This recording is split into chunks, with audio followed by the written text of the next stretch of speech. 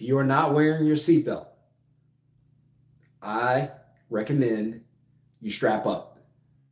Reason I recommend you strap up uh, is because, first of all, I wasn't even thinking about uh, like doing a video about this, but like because of what's happening in the world, what's happening in local economies, uh, I wanted to come on and address this. So uh, you always hear me talking about the economy, the sick economy. I call it the ill economy instead of the economy. And the reason I say it's a sick economy because uh, this ill economy has, just like with, you know, anybody or anyone that's sick, unfortunately, uh, my baby girl Renly, she has another ear infection. So we're very close to having to put tubes in it. So keep her in prayer if you don't mind. We don't want to go through that. We went through it with my son Weston. So hopefully it's something we can avoid uh, and she could take medicine and stop getting these ear infections. Uh, so we're praying for that. But I just want to get on real quick and talk to you about the eel economy. So how did we know? Let's let's start from the beginning. First of all, if you have not subscribed to the channel, please, if you don't mind, consider hitting subscribe for the channel. Uh, I appreciate that. If you have any questions or comments, you're welcome to drop those. And if you get any value from any of the videos that I do, including today, if you've ever said, you know what, this is pretty good information, then smash thumbs up. That way, YouTube's algorithm can start sharing these videos with more people like you and me who need this content.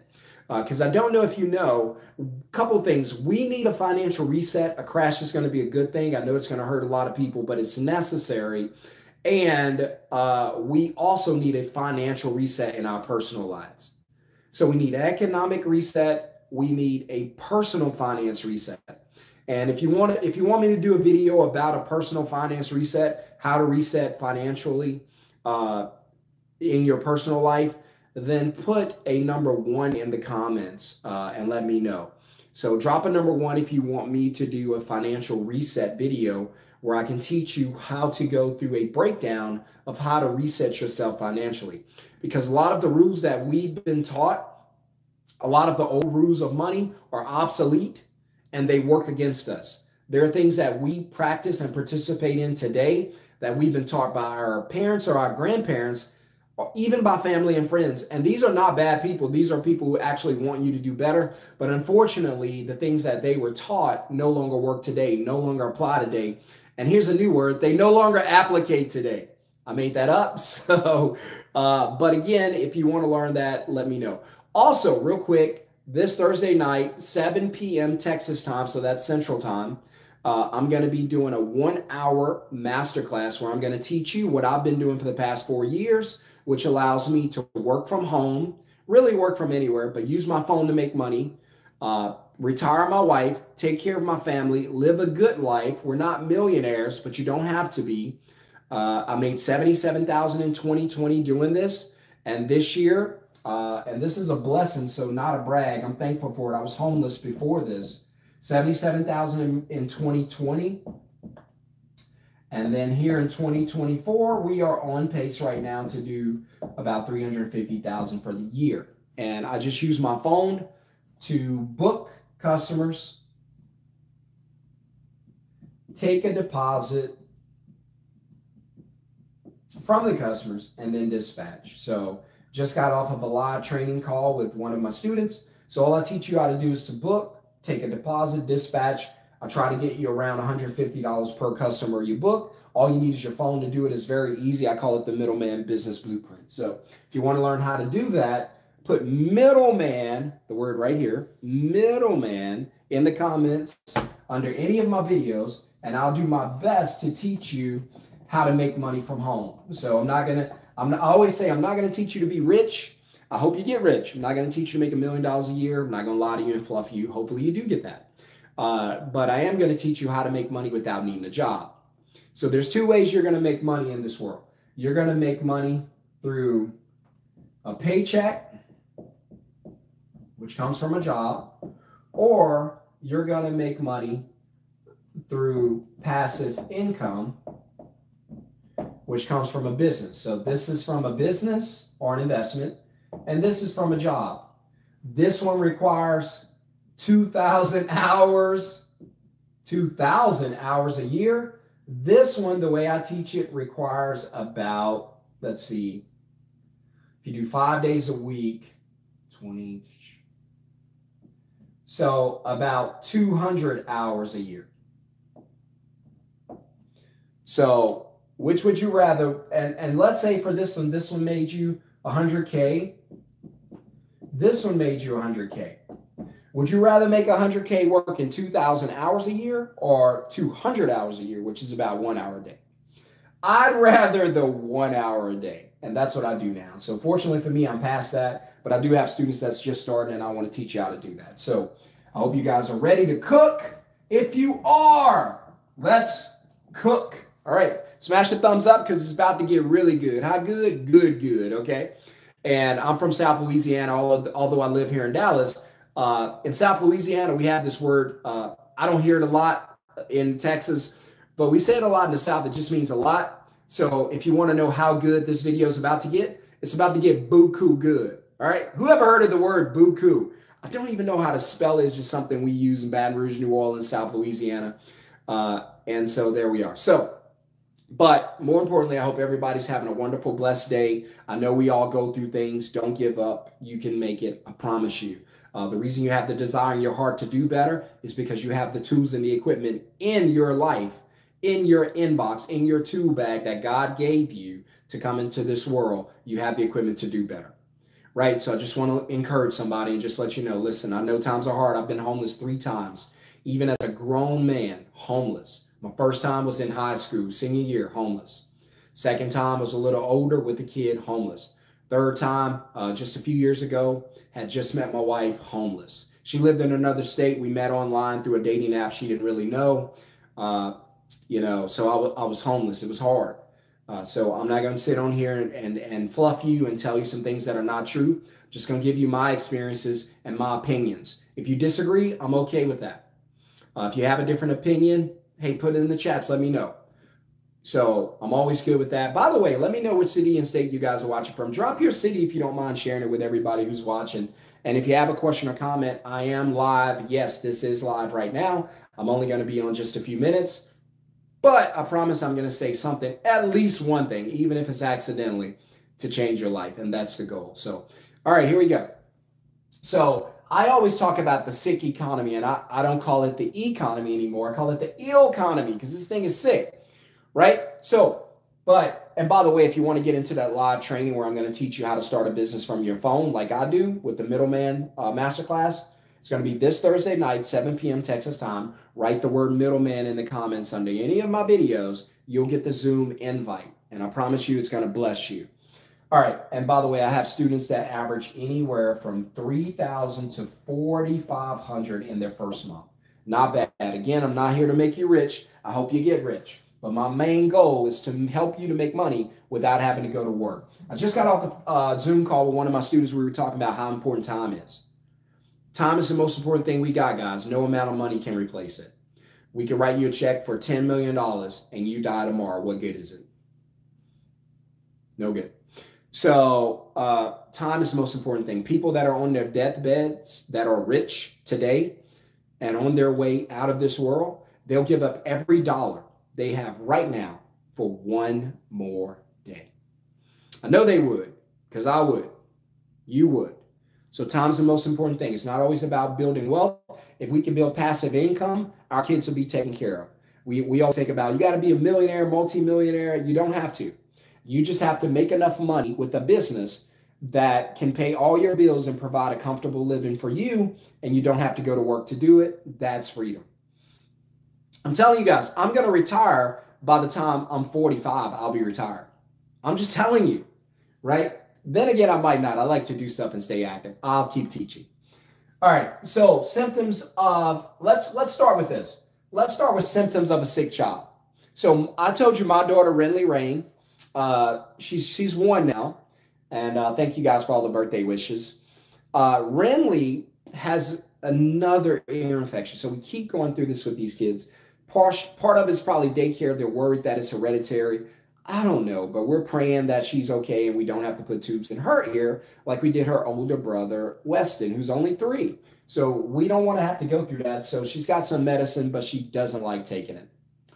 And so, but here's how we knew, right? So we knew that Renly, let's talk about my daughter Renly. We knew that Renly was sick because she would pull her ears. So if you guys are parents, you know one of the key indicators that the child might be sick or have ear issues, they'll do this. And Renly does that. So we know that Renly's we know that Renly's uh, pulling on her ear, so there might be a problem there, right? Uh, so she pulls on her ear. She'll have a fever from time to time. The child could have a fever, right? From time to time. The child could be very, very cranky,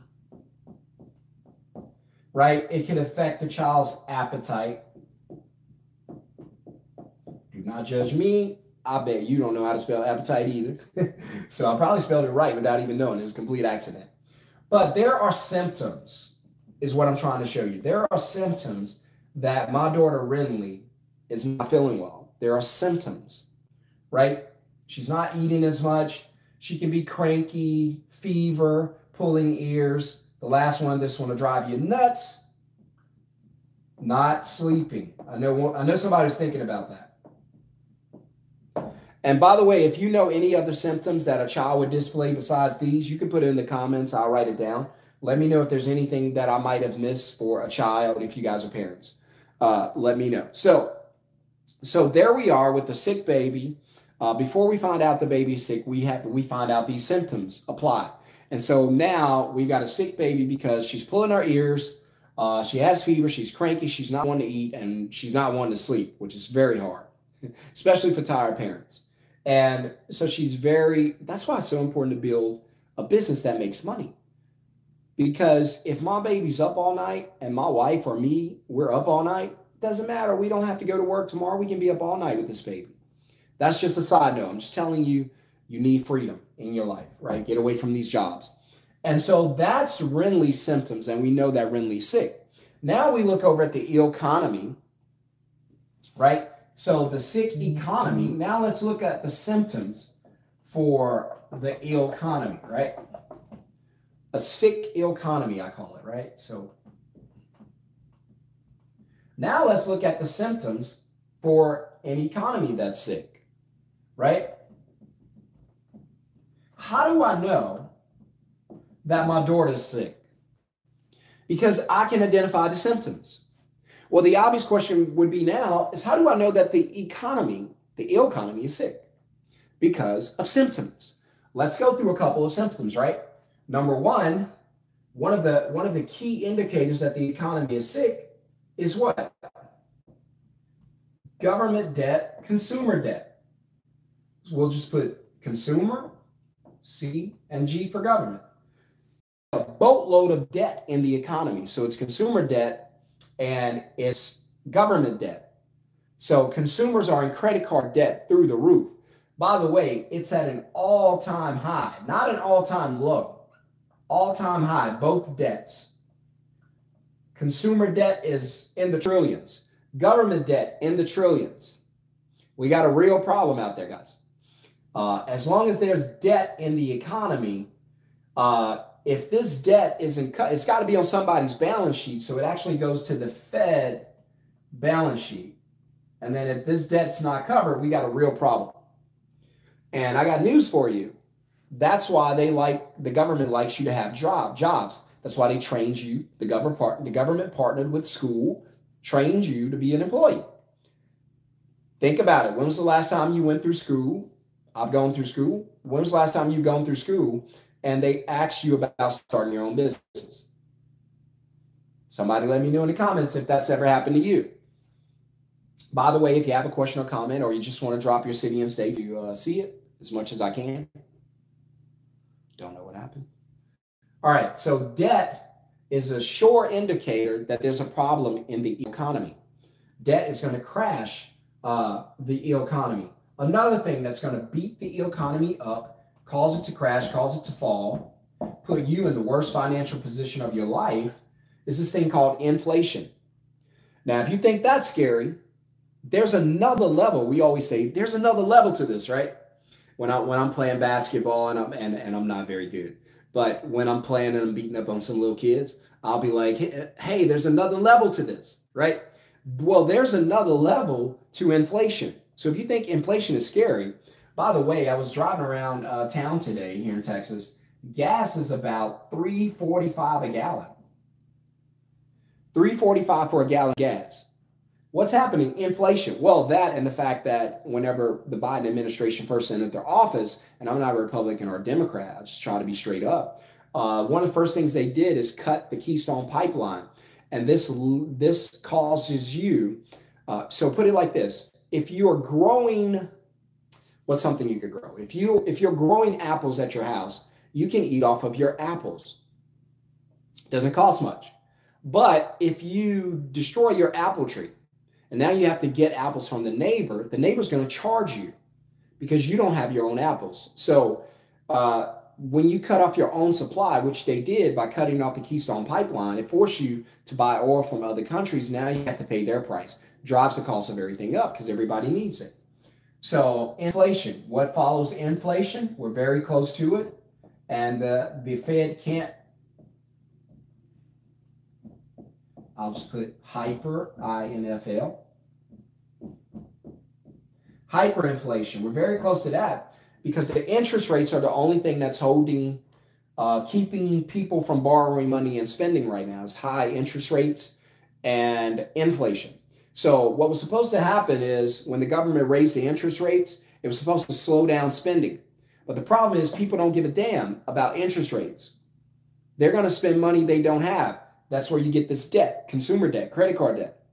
They're going to go into debt buying things they want. They don't care about interest rates. They don't care about inflation. Most people are like, look, I'm going out swinging. I can't pay this back anyway. I may as well get everything I can, right? So hyperinflation is on deck because if they lower the interest rates, then money's going to flow back in. People are going to borrow money, spend more, drive the cost of everything up. Now you're facing hyperinflation. So hyperinflation is a realistic uh, thing that can potentially bring down uh, the economy. So debt destroys, debt makes the economy ill. Inflation makes the economy ill, right? Hyperinflation pretty much destroys, disrupts uh, the economy. So, so these are things, right? Interest rates. Spoke about that. Interest rates on on debt. Interest rates is pretty much the cost of debt, the cost to borrow money or to, to buy money. You think of money as a product, interest rates are high means, hey, it's going to cost you more money to buy that money. Right? Interest rates are high. Right? One big one today, and this is the main reason I jumped on here to tell you that the economy don't give a crap about you or your family. Layoffs today approximately 15,000 Tesla workers woke up to find out that they are now, like Tommy from Martin, they ain't got no damn job. And I'm not saying that to be like in an arrogant way. I'm just telling you that these people went to bed last night believing that they had this thing called a safe, secure job, only to find out that what this guy, random guy on YouTube, has been telling you on a very small channel for months now that there is no such thing as a safe, secure job. I had a talk with my daughter uh, the other day. By the way, if you didn't know, I had a daughter when I was in high school. You want to talk about a hard life? Have kids young. That's a hard life. Fast lane to poverty. And I was telling my daughter because she was telling me about a job, and I said, Shania, listen, there is no such thing as a safe, secure job. None. There's no such thing as a safe, secure job. Because she was telling me, she was like, Dad, I got this cool job and, you know, they like me. They're probably going to keep me. Listen, I don't care what they say. They are lying to you. And it might not be intentionally, but you have to assume that they are. 15,000 people went to bed last night with a paycheck with a job that took care of their families. 15,000 people woke up today, went to the Tesla factory, found out that their ID cards no longer work. 15,000 people have to go home today and tell their family that they are no longer employed, that they don't have a job. So, what are they going to do? You know what they're going to do. They're going to eat up their savings. They're going to attack their savings. They're going to eat up their savings. Right? And so I know those of you, because I always say don't focus on saving, do something different, use the money. You're going to say, Sean, there's proof right there that you need to have a savings or an emergency account. Okay. Let then walk back with me. All right. So today is the day they got fired. So it looks great that they had a savings account because they got fired. They need more money in the future, right? Gotcha. Here's what I propose that six months ago, when they had a job, three months ago, a year ago, 10 years ago, when they had the job, they should have been using the savings account to start a business, get into an investment, do something to create this thing called cash flow. If they would have, while they still had their jobs at Tesla, hear me out. And if you guys agree, smash the thumbs up. If you disagree, let me know in the comments. Or if you agree, let me know in the comments. Savings. By the way, how many people have heard about the Tesla layoff today? Let me know. Have you guys heard about Tesla laying off 15,000? 10% of its workforce. Am I the only one hearing about this? Have you guys have you guys heard about this? So Tesla lays off 10% of its workforce. I told you I'm not going to keep you long. I'm about to get off, but just let me know. Tesla lays off 10% of its workforce, about 150,000 people. 10% is roughly 15,000. These 15,000 are probably responsible for at least three people in their family. That's 45, 50,000 people easily affected by these layoffs. Now, they're going to go into the savings, and you're going to tell me, Sean, I told you it was a good idea to have a savings or emergency or rainy day account. Because guess what? They woke up today, 15,000 people woke up today, and it was raining. And now, because they have a savings account, they can go and take care of some stuff until they get a job. Gotcha. No problems with that. But here's what could have happened and probably should have happened and should happen for you. Six months ago, while they still had their jobs and they didn't work, wake up to uh, unemployment, Six months ago, they should have been using the money out of their savings to create a business or get into some type of investment. I recommend start a middleman business like I do. I just like freedom and I like money from my couch. That's just me, but you don't have to. Business, investment, and that business would have grown, created something called cash flow. Now, when they lose their job, it doesn't hurt as much because, okay, the economy wiped me out. I lost my job. Tesla fired me. Okay, that's fine. But since you've been building something on the side anyway, now you don't need the savings account because you can live off cash flow. Poor and middle class live off savings. The rich and the wealthy live off cash flow. I'll prove it to you. When was the last time you talked about, I'm sorry, when was the last time you heard a rich rich person talk about a savings account? When was the last time you heard a rich person talk about saving money?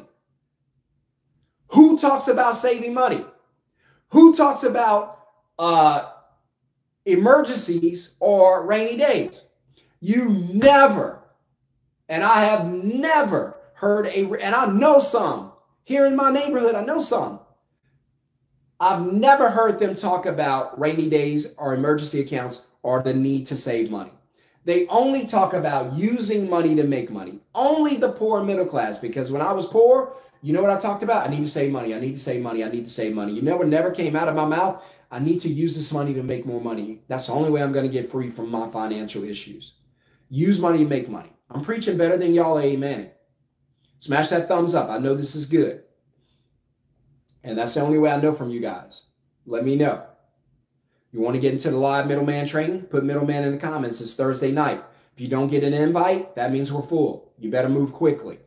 Or you could be next. You could be next.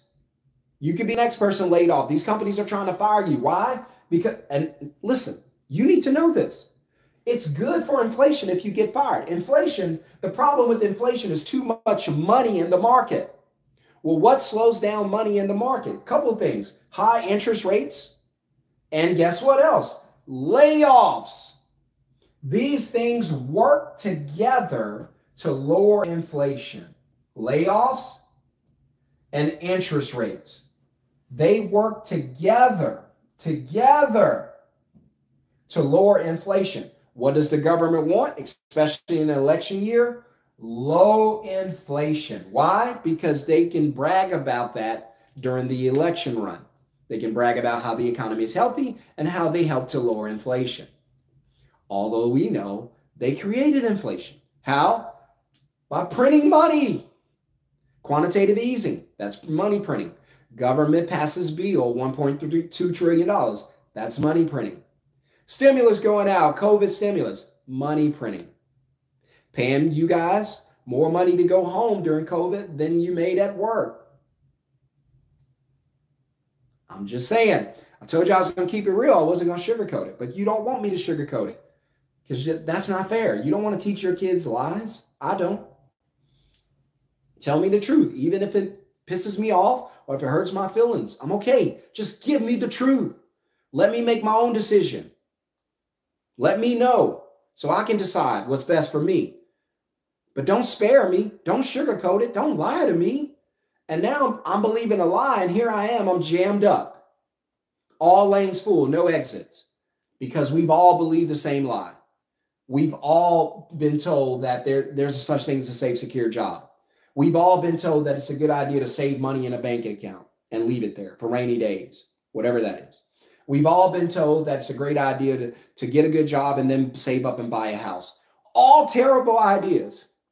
Years ago, these were great ideas. Saving money in the bank? Sure. Banks paid interest. They no longer pay interest. They actually paid you to put it there. They no longer pay interest for different reasons, including uh, automatic deposit they don't have to bribe you for the paper check anymore. You could just, it just goes there. Right? Buying a house. Houses were great investments. They appreciate it. You can live in it. It, it, it usually appreciate it. Uh, and houses were affordable. Now interest rates too high. Housing market is overpriced. You're out there trying to pay double for houses. Just two years ago, that house was 200 grand. Now it's 450 and you're still trying to buy it with a high, with a higher interest rate. Leave that alone. Focus on creating cash flow from a business. Let your business grow and then use the business to buy a house. You start a middleman business like me, I'm telling you what my wife and I are doing. You start a middleman business like me, right? I create a business, I'll let that business grow. That business grows, the house is the house we want, let's say it's 3000 a month, fine. How much of the business make? It makes 3000 a month. Perfect. We're going to use that 3000 to pay for the mortgage. We're not going to work to buy a house. No, you can go to prison. I'm not. You can volunteer for prison. No, thank you. I like freedom. If buying a house puts me in financial prison, keep your house. If buying a car puts me in financial prison, keep the car. I'm not doing it. If saving money puts me in financial freedom, free prison, I'm not using it. Again, the rich and the and the wealthy, they don't ever talk about saving money. They only talk about using money to make money. It's only the poor and the middle class who want to save, save, save. That's a poor mindset. You lose, lose, lose. Start a business. Start a side hustle. Get something going. Sell t-shirts out of your kitchen. I do not care. Learn to make money when you're not at work. If these people, uh, if these 15,000 people for Tesla uh, learn to make money when, when they were working and they come home from work and in their spare time, they don't turn on the TV. They actually do something to make money, whether it's a middleman business or something else they use it to make money, then all of a sudden they got laid off. It doesn't hurt so much. Why? Because they have cash flow. They believed me when I said, hey, these jobs are not loyal. And they said, you're right. Let me, which is probably you today. And they said, you're probably saying, you're right. These jobs are not loyal. I cannot rely on that to take care of me and build wealth for my family. You're right, Sean. Here's what I have to do I have to start a business on my own on the side when I'm not at work. Keep my job. And then when I'm not working, work on my business let that thing grow. Maybe a year from now, they fire me. Maybe a year from now, I fire them and say, hey, I'm making just as much money with my side business and I don't have to go to work. I'm free to do whatever I want to do with my time. You can choose an industry, choose a city, start making money. I'm, I'm in the moving industry. That was the first one I started off. I'm in the moving industry. I'm in the home cleaning industry. And I'm in the uh, the website design industry. That's the one we just got into. I came home today because you're going to partner with companies in your area or whatever city you choose to work in. My cleaning service, I'm in Dallas, it's in Florida. My moving service, I book moves for companies here and I'm about to expand. So what do I do? I find customers who need to move, find customers who need cleaners, right? Find customers who need a website designed. I partner with those companies. I take, uh, I book the customers, and then I take a deposit from the customers. My average deposit for moving, $150. Hey, here's what we charge for moving. Yes, I'll take it. Okay, deposit is due. Here's how much. Get the deposit. I'm paid. Dispatch to work. Hey, who wants this job on this day at this time in Texas? I'll take it. Done. I'm on. I'm gone. Back to whatever I want to do. I'm not doing the work. They are. I'll just take a deposit. That's how I get paid. How do you find a business to partner with? It's easy. They find you. I came home today. This was on my door at my house. This is on my door. This is a real company that I don't know. It's pretty cool flyer. Uh, they got some things I would get rid of, like the email and the and the website. Get rid of that. Uh, but otherwise, really cool. And I like it because it lines up with what I teach: who, what, and how. Who are you? Custom cleaning. What do you do? I'm a cleaning service. How to reach you? Phone number. So I'll probably reach out to this person and get their prices, and then partner with them and say, "Hey, I'm going to start sending you work." and we're going to partner together. I'm going to take a deposit. It won't affect your money. You'll still get paid what you want. Everybody's happy. And we're done. That's how easy it is to find someone. In fact, I just got off a call uh, with one of my students and we were talking about how to connect with ISPs. But anyway, if you want to learn how to do that, put middleman in the comments below. There it is, middleman spelled out for you. Guys, I got to go. I hope I said something to bless you in some way. Hit thumbs up, share this video with anybody who you think might need this content.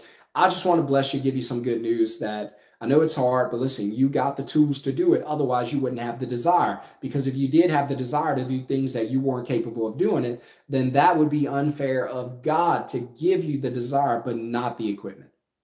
So now that we know He's giving you the equipment to change your life financially, giving you the guidance, giving you people like me who can help to show you how to do it, now we know that the desire is good because the equipment is good.